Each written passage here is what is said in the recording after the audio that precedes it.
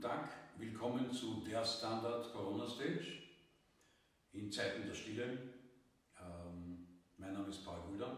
Mein Name ist Matthias Abendsammer.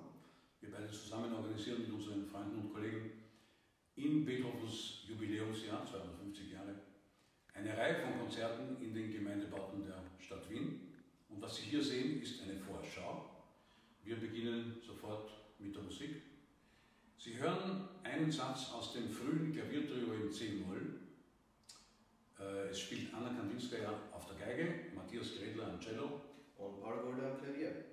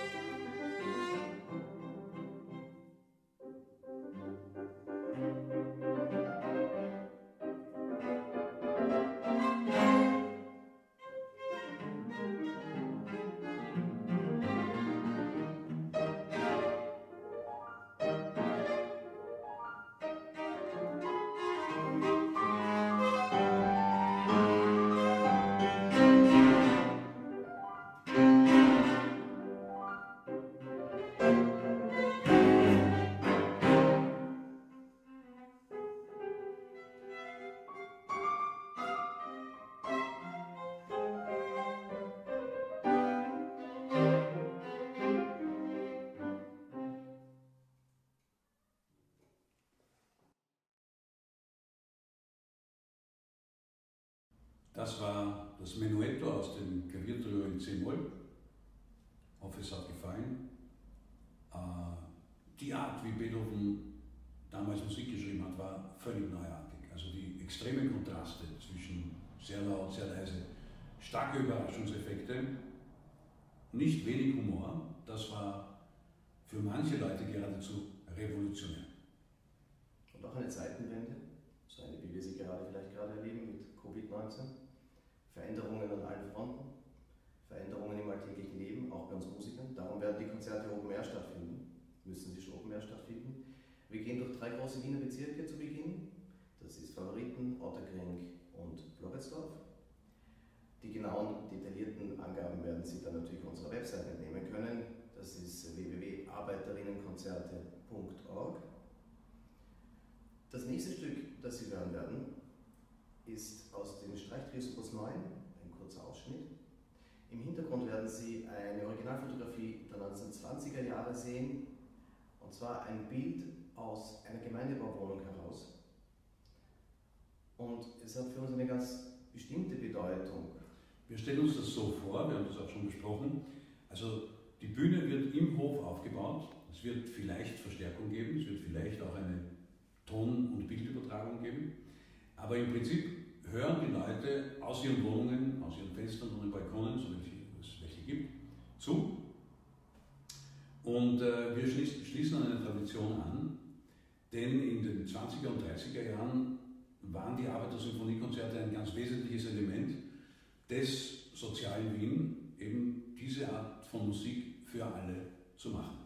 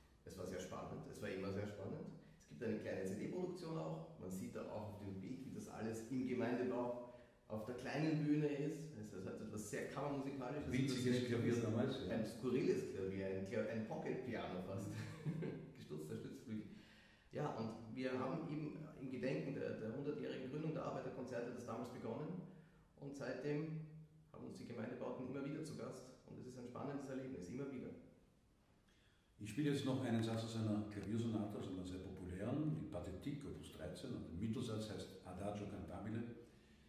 Und mir ist wichtig dazu zu sagen, ich spiele das zwar seit drei Jahrzehnten, aber, oder länger. Man muss nicht denken, dass sich das nicht verändert hat. Ja. Das sind sozusagen äh, die aufgeschriebenen Noten, das ist eine Coverversion, wenn Sie so möchten, nämlich meine, und die verändert sich mit jedem Jahr und mit jeder Aufführung und es wird sicher auch, auch im Sommer wieder anderen Charakter haben, wenn wir das unter freiem Himmel in den Gemeindebauten spielen und ich freue mich sehr darauf.